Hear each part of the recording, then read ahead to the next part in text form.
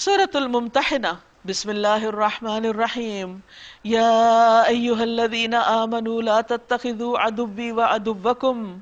لا تتخذوا عدبي وعدبكم أولياء تلقون إليهم بالمودة وقد كفروا بما جاءكم من الحق یخرجون الرسول و ایاکم ان تؤمنوا باللہ ربکم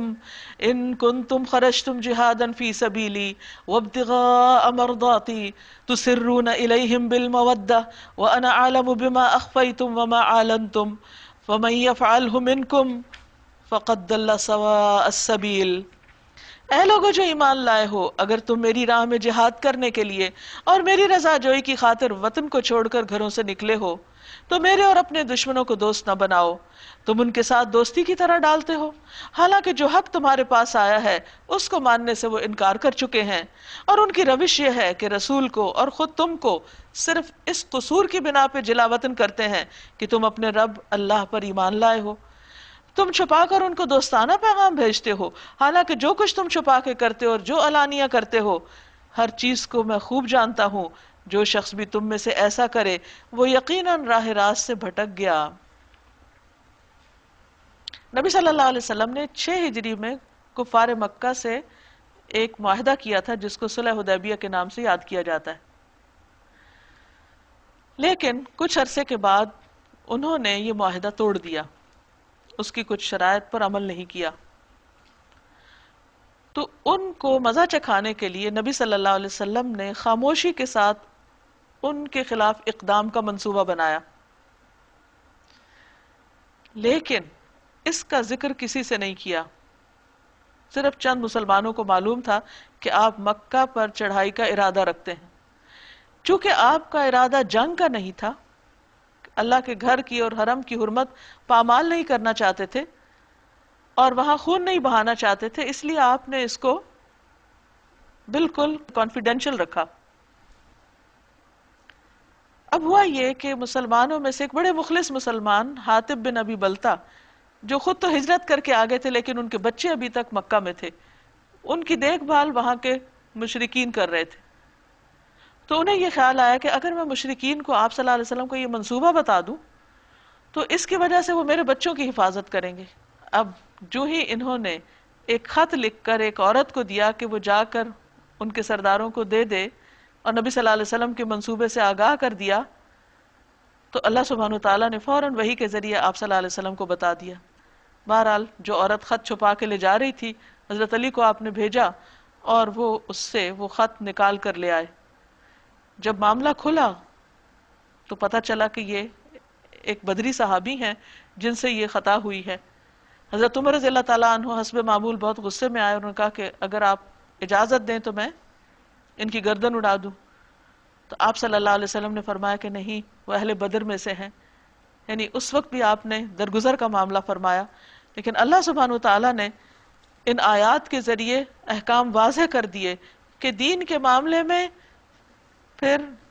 ذاتی خاندانی محبتیں کوئی حقیقت نہیں رکھتی کبھی انسان اپنے ذات یا خاندان یا اپنے مال کو بچانے کے لیے دین کا نقصان نہ کرے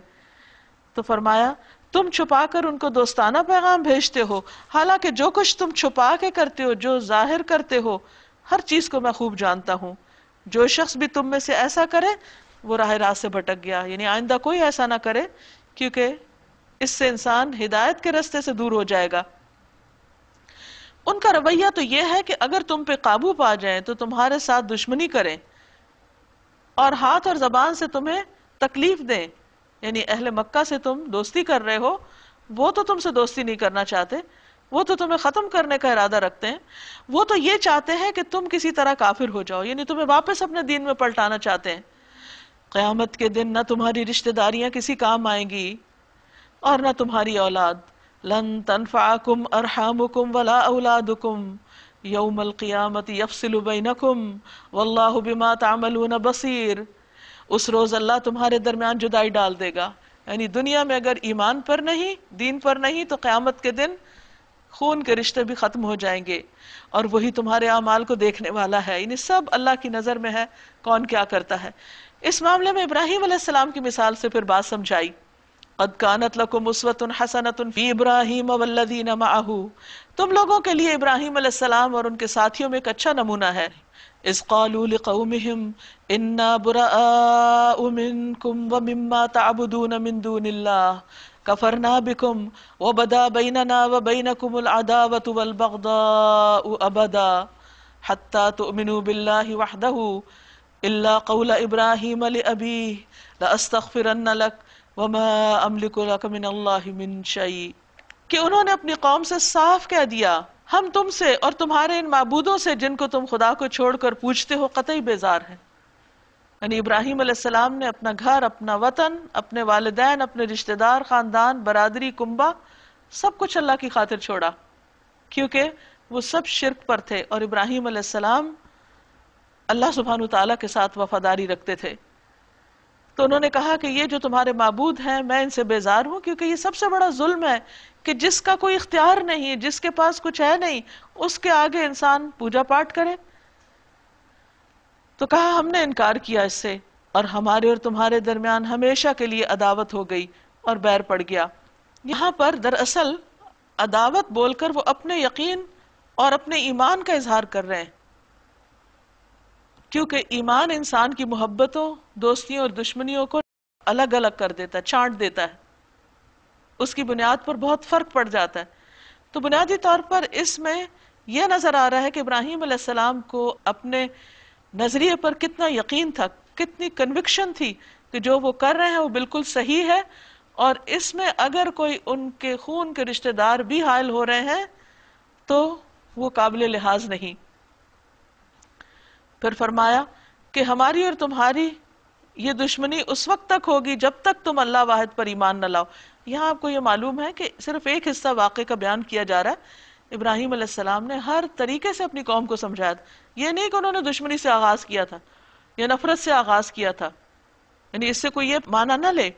ابراہیم علیہ السلام نے بہت احترام کے ساتھ والد کو سمجھایا باقی لوگوں کو سمجھایا پھر اگلے مرحلے پر ان کے بت توڑ کر ان کو سمجھایا پھر اگلے مرحلے پر جب انہوں نے ان کو آگ میں پھینکا اور اللہ نے ان کو سلامت رکھا تو اپنی عملی مثال سے ان کو سمجھایا کہ سلامتی کس چیز میں ہے لیکن یہ سب کچھ سوچنے سمجھنے جاننے بوجھنے دیکھنے کے بعد بھی وہ لوگ باز نہیں آئے اور وہ اپنی ہٹ پر قائم رہے تو ابراہیم علیہ السلام نے ان کو چھوڑ دیا اور کہا کہ ٹھیک ہے آج سے میری اور تمہاری راہیں الگ ہیں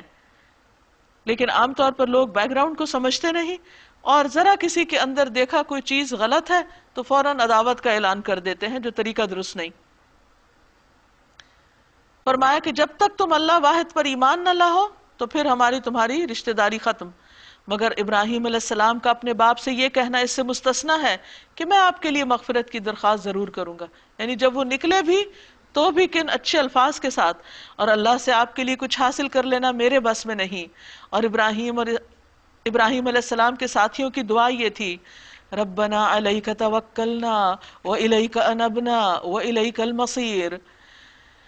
اے ہمارے رب تیرے ہی اوپر ہم نے بھروسہ کیا ہم تیری ہی طرف رجوع کرتے ہیں تیرے ہی حضور ہمیں پلٹنا ہے ربنا لا تجعلنا فتنة للذین کفروا لنا ربنا الحکیم اے ہمارے رب ہمیں کافروں کے لیے فتنہ نہ بنا دے اور اے ہمارے رب ہمارے قصوروں سے درگزر فرما بے شک تو ہی زبردست اور دانا ہے یعنی ایسا نہ ہو کہ وہ ہم پر غالب آ جائیں اور پھر غالب آ کر وہ سمجھے کہ وہ حق پر ہیں اور ہم حق پر نہیں تو یا اللہ تو ہماری مدد فرما اور ہمارے دین میں ہمیں ایسے امتحان میں نہ ڈال انہی لوگوں کے طرز عمل میں تمہارے لیے اور ہر اس شخص کے لیے اچھا نمونہ ہے جو اللہ اور روز آخرت پر یقین رکھتا ہو اس کا امیدوار ہو اس سے کوئی منحرف ہو تو اللہ بے نیاز ہے اور اپنی ذات میں آپ تعریف والا ہے اللہ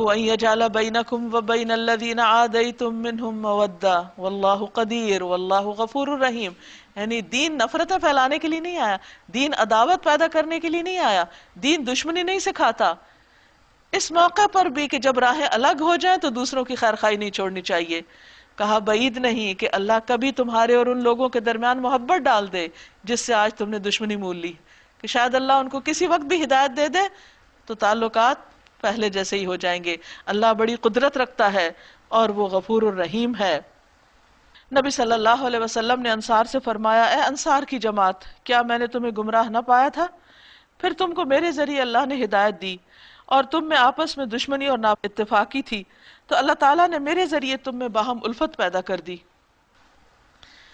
اللہ تمہیں اس بات سے نہیں روکتا کہ تم ان لوگوں کے ساتھ نیکی اور انصاف کا برتاؤ کرو جنہوں نے دین کے معاملے میں تم سے جنگ نہیں کی یعنی اگر ایک شخص اپنے دین پر ہے لیکن عدل و انصاف کے ساتھ رہ رہا ہے تو تم بلا وجہ اسے چھیڑ چھاڑ نہیں کرو گے اور تمہیں تمہارے گھروں سے نہیں نکالا یعنی اگر تمہیں وہ امن دیتے ہیں پروٹیکشن دیتے ہیں تو اس صورت میں تم ان کے ساتھ بلا وجہ دشمنی نہیں کرو گے اللہ انصاف کرنے والوں کو پسند کرتا ہے وہ تمہیں جس بات سے روکتا ہے وہ تو یہ ہے کہ تم ان لوگوں سے دوستی کرو جنہوں نے تم سے دین کے معاملے میں جنگ کی ہے اور تمہیں تمہارے گھروں سے نکالا ہے اور تمہارے نکالنے میں ایک دوسرے کی مدد کی ہے ان سے جو لوگ دوستی کریں وہی ظالم ہیں اشارہ اہل مکہ کی طرف جنہوں نے مسلمانوں کے ساتھ طرح طرح کی زیادتیاں کی تھیں اور جس طرح ابراہیم علیہ السلام کے اہل خانہ اور اہل بستی نے ان کے ساتھ زیادتیاں کی تھیں یا ایوہ الذین آمنوا اذا جاءکم المؤمنات مہاجرات فامتحنوہن اے لوگوں جو ایمان لائے ہو جب مومن عورتیں ہجرت کر کے تمہارے پاس آئیں تو ان کے مومن ہونے کی جانچ پڑتال کر لو ان کا امتحان لے لو ان کو ٹیسٹ کرو صلاح کے بعد کچھ ایسے حالات پیدا ہو گئے تھے کہ جس میں اللہ سبحانہ تعالیٰ نے مسلمانوں کی کچھ رہنمائی فرمائی صلح کی شرائط میں سے ایک شرط یہ بھی تھی کہ اگر کوئی مسلمان مکہ سے مدینہ کی طرف آئے گا تو اس نہیں آنے دیا جائے گا اور اس بنا پر کچھ لوگوں پر اگرچہ بہت ظلم و ستم ہو رہا تھا اور وہ وہاں سے نکلنا چاہتے تھے لیکن نبی صلی اللہ علیہ وسلم نے معاہدے کی پاسداری کرتے ہوئے ان کو مدینہ نہیں آنے دیا بلکہ لوٹا دیا اب اس میں کچھ خواتین بھی ایسی تھیں کہ جو صلح حدیبیہ کے کے بعد وقت میں مسلمان ہو کر مدینہ آ گئی تو کفار پیچھے آ گئے کہ ہماری عورتیں واپس کی جائیں کیونکہ یہ معاہدے کی خلاف ورزی ہے تو چونکہ معاہدے میں عورتوں کا لفظ نہیں لکھا ہوا تھا اس لیے ان کو نہیں لوٹایا گیا تو یہاں پر واضح کر دیا گیا کہ ہاں پہلے ان کو آزماؤ کہ واقعی ایمان کی خاطر آئی ہیں یا کوئی اور مقصد ہے اور ان کے ایمان کی حقیقت اللہ ہی بہتر جانتا ہے انسان تو صرف ظاہر پر ہی معاملہ کر سکتا ہے جب تمہیں معلوم ہو جائے کہ وہ مومن ہیں تو انہیں کفار کی طرف واپس نہ کرو وہ نہ کفار کے لیے حلال ہیں نہ وہ کفار کے لیے حلال ہیں اور نہ کفار ان کے لیے حلال کیونکہ وہ ایمان لا چکی ہیں اب ان کا نکاح باقی نہیں رہے گا ان کے کافر شوہروں نے جو مہر ان کو دیے تھے وہ انہیں پھیر دو اور ان سے نکاح کر لینے میں تم پر کوئی کوئی گناہ نہیں یعنی اسلام لانے کے بعد نکاح نکاح ختم ہو گیا اب مسلمان مرد بھی ان سے کر سکتا ہے جبکہ تم ان کے مہر ان کو ادا کرو اور تم خود بھی کافر عورتوں کو اپنے نکاح میں روکے نہ رکھو وہ اگر جانا چاہے وہاں تو ان کو بھی جانے دو جو مہر تم نے اپنی بیویوں کو دیے تھے یعنی جو کافر بیویوں کو وہ تم واپس مانگ لو اور جو مہر کافروں نے اپنی مسلمان بیویوں کے دیے تھے وہ انہیں واپس مانگ لیں کیونکہ اللہ تعالیٰ انصاف فرماتا ہے یہ اللہ کا حکم ہے وہ تمہارے درمیان فیصلہ کرتا ہے اور اللہ علیم اور حکیم ہے اور اگر تمہاری کافر بیویوں کے مہروں میں سے کچھ تمہیں کفار سے واپس نہ ملے اور پھر تمہاری نوبت آئے تو جن لوگوں کی بیویاں ادھر رہ گئی تھی ان کو اتنی رقم ادا کر دو جو ان کے دیے ہوئے مہروں کے برابر ہو اس خدا سے ڈرتے رہو جس پر تم ایمان لائے ہو یعنی دوستی کا معاملہ ہو یا دشمنی کا ہر حال میں اللہ کے احکام کی حفاظت کرو پابندی کرو اے نبی صلی اللہ علیہ وسلم جب تمہارے پاس مومن عورتیں بیت کرنے کے لیے آئیں یعنی وہاں سے آگے ہجرت کر کے اب وہ اپنے ایمان اور اپنے باقی جو دین کے احکامات کی پابندی کا وعدہ کرنے لگی ہیں اور اس بات کا عہد کریں کہ وہ اللہ کے ساتھ کسی کو شریک نہ کریں گی چوری نہ کریں گی زنا نہ کریں گی